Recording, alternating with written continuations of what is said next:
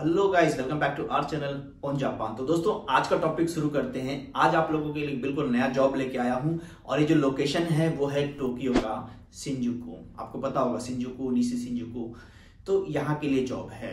तो दोस्तों जॉब का टाइटल क्या है सैलरी कितनी होगी, और क्या क्या इसमें आपको प्रोवाइड करके मिलेगा कंपनी की तरफ़ से तो आपको पूरी डिटेल बताने वाला हूँ। तो बनी रहेगा इस वीडियो के साथ। सबसे पहले मैं आपको बताता हूँ कि जॉब टाइटल क्या है। जॉब टाइटल जो है, वो रेस्टोरेंट लेबर का है। रेस्टोरेंट के अंदर जो काम होता है शेफ स्टीवर्ड कैप्टन जो भी होते हैं, उसके लिए हायरिंग चल रही है।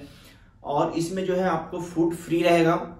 एकोमोडेशन जो है, इसमें फ्री रहेगा मतलब रहने के लिए आपको पूरा फ्री होगा, खाना भी फ्री होगा। इसके अलावा अगर आप एकोमोडेशन में रहते हैं मतलब आप अपने रूम पे रहते हैं तो वहाँ अगर आपको खाना बनाना है सपोज़ छुट्टी वाले दिन तो आपको कंपनी की तरफ़ से जो है गैस इलेक्ट्रिसिटी ये सब सब फ्री मिलेगा।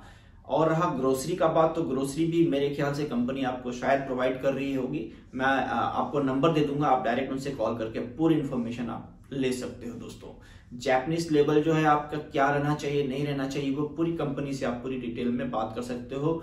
जिस भाई को भी ये जॉब चाहिए होगा, वो मुझे ईमेल कर सकते हो। मैं इंप्लॉयर का नंबर डायरेक्ट आपको ईमेल कर दूँगा।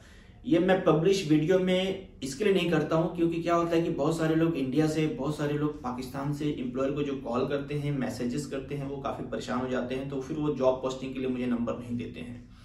तो दोस्तों, ये वही लोग कॉल कर सकते हैं जो ऑलरेडी जापान में है, जिनका वीज़ा जिनको ट्रांसफ़र करना है वीज़ा सपोर्ट चाहिए, वही कॉल कर सकते हैं। तो जिन, किसको भी नंबर जॉब चाहिए, वो मुझे ईमेल कीजिए या फिर व्हाट्सएप ग्रुप जो है मैंने डिस्क्रिप्शन में दिया हुआ है व्हाट्सएप ग्रुप के साथ आप ऐड हो जाइए और वहाँ से आप अगर एम्प्लॉयर का नंबर आपको अगर चाहिए तो आप उसे ले सकते हो। मैं आपको बेहिचक एम्प्लॉयर का नंबर दे दूँगा तो डायरेक्टली जो है आप एम्प्लॉयर से बात कर सकते हो दोस्तों।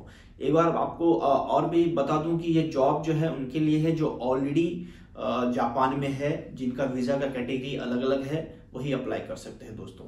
दूसरी वीडियो में और भी कई इन्फॉर्मेशन आप लोगों के सामने मैं लेके आऊँगा। इस वीडियो में इतना ही रहा। मेरे चैनल को सब्सक्राइब कीजिएगा लाइक कीजिएगा और अपने फ्रेंड्स के साथ शेयर ज़रूर कीजिएगा।